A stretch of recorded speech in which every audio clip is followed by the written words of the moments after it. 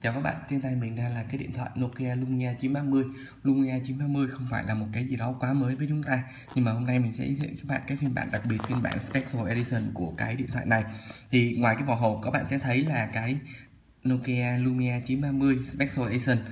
Cái điện thoại này tuy được ra mắt vào thời điểm mà Microsoft họ đã tiếp quản chính thức Nokia và cái điện thoại mới nhất là Microsoft Lumia 930 nhưng mà nó vẫn dựa trên cái nền của 930 cũ. Nên bây giờ các bạn vẫn có được một cái máy là Nokia, có cái logo Nokia bên ngoài.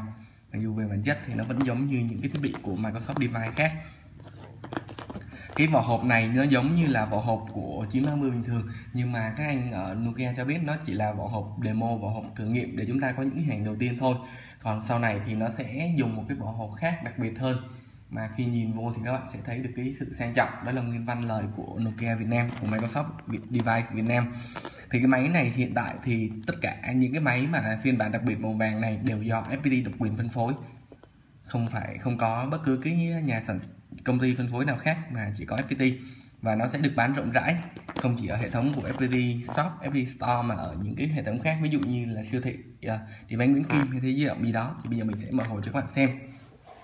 Đó cái cách mở hộp và đóng gói y hệt như là những cái điện thoại Lumia 930 trước kia. Nãy mình có mở ra mình chụp hình rồi.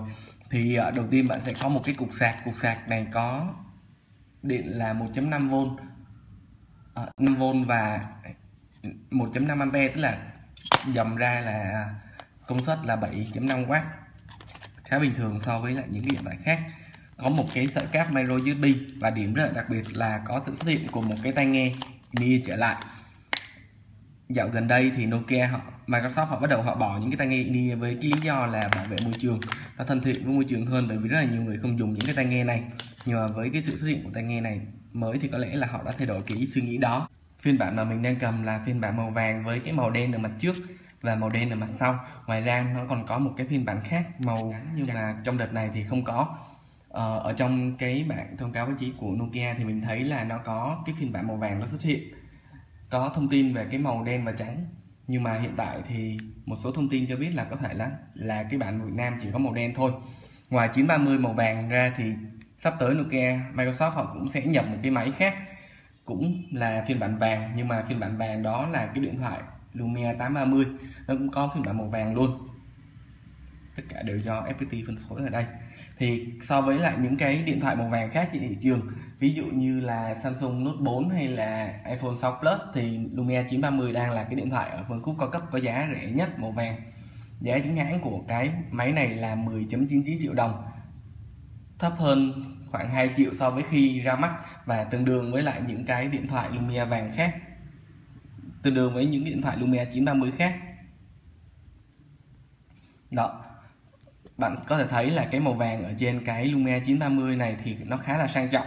Ờ. ở mặt trước thì nó vẫn là một cái màu đen nhưng mà khi mà bạn tắt đi bạn sẽ thấy là có những cái đường vàng nó chạy dọc ở những cái cạnh. Và chúng ta vẫn thấy được cái phần màn hình nó hơi nổi lên. Đó nó hơi vát chéo tuy là không có rõ ràng. Đó, màu vàng này thì đậm hơn so với lại những cái máy khác như là iPhone. Đó.